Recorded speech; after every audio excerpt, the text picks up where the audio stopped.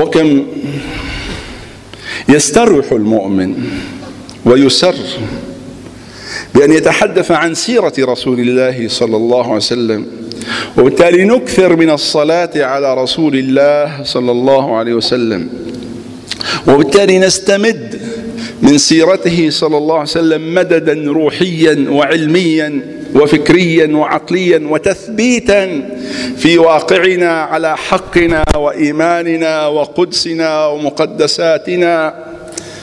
لا تلين للمؤمن قناه مهما واجه من أخطار.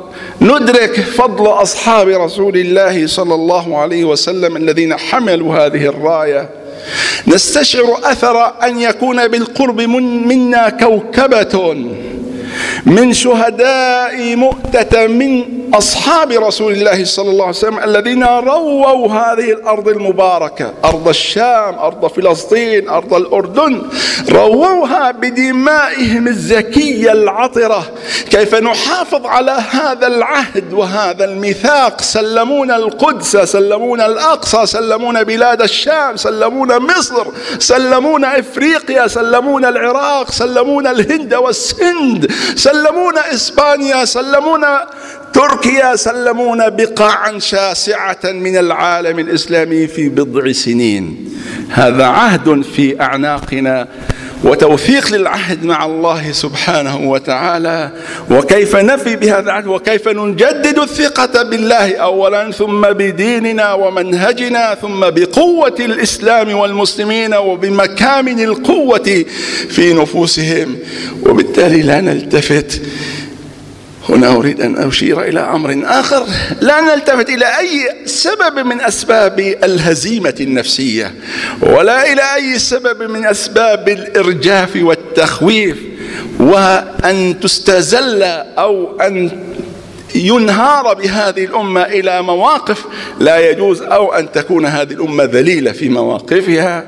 أصبح عند بعضهم إعلاميا وسياسيا مشروعا جدا بل ويتكلم بذلك بمفاخرة وقحة جدا وبوضاعة تمثل وضاعة ذلك الغساني الذي قتل رسول رسول الله صلى الله عليه وسلم في خيانته وعمالته يدافع عن الوجود الصهيوني المغتصب.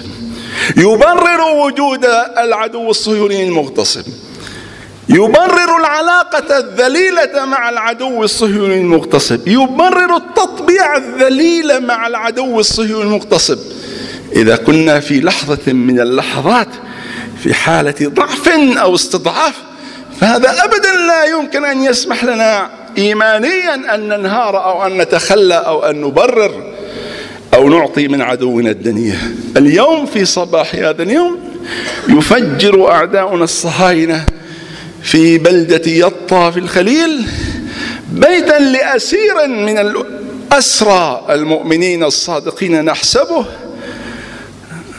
خليل جبرين أو الجبارين أنه قام بعمل بطولي في وجه أعدائنا وكلما قام مؤمن بعمل بطولي في وجه أعدائنا يدمرون بيته أو بيت أهله.